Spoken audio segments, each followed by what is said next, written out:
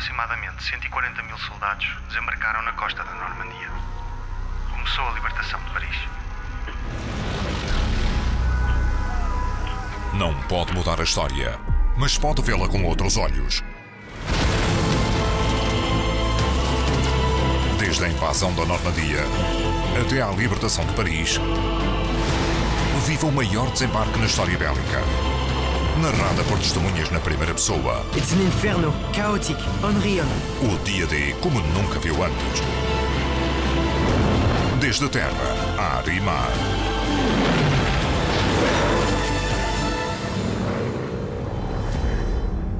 Dia D, o sacrifício. Estreia dia 6 de junho, no National Geographic.